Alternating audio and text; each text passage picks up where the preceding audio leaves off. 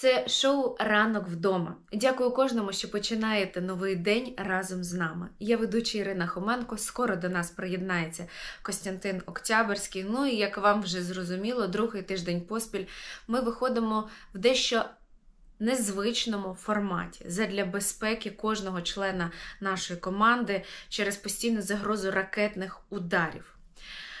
Друзі, ми закликаємо вас, не нехтуйте сигналами повітряної тривоги.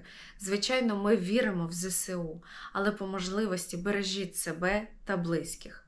Попереду вас чекає 2,5 години цікавих сюжетів про Україну, про нашу боротьбу і історію, про наших друзів і, звичайно, про те, що все буде Україна.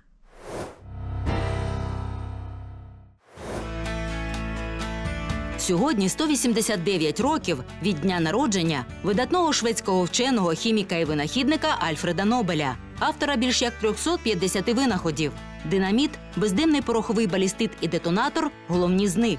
Майже всі свої зароблені статки, а це понад 30 мільйонів шведських крон, Нобель заповів на фінансування міжнародної премії. Нею нагороджують за видатні наукові дослідження, революційні винаходи, вагомий внесок у культуру, розвиток суспільства і укріплення миру. Перші Нобелівські премії вручили 1901 року. Тоді урочиста церемонія нагородження відбулась у Стокгольмському концерт-холі. Сьогодні нагородження відбувається у столицях двох країн Швеції та Норвегії. 7 жовтня 2022 року Нобелівську премію миру присудили українській правозахисній організації Центр громадянських свобод. Лауреатами також стали правозахисники з Білорусі та Росії. За словами Нобелівського комітету, цьогорічні переможці доклали значних зусиль, аби задокументувати військові злочини, порушення прав людини та зловживання владою, а також продемонстрували важливість громадянського суспільства для миру і демократії.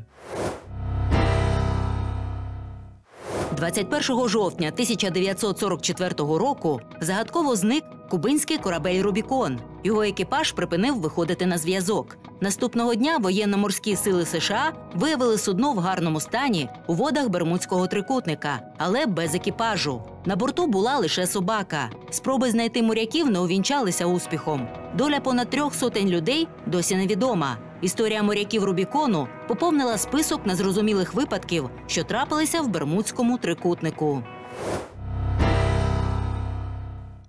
Вночі 21 жовтня 1947 року у Львові радянська влада розпочала операцію Захід, яка полягала у примусовому виселенні українців із західної України до Казахстану та віддалених районів Сибіру.